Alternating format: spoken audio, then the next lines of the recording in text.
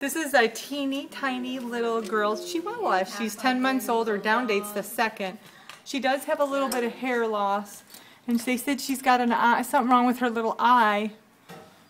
But they're treating her. Look at her. Yeah, and um, She's a pretty little on girl. a daily basis. Tiny, I'd say maybe five pounds.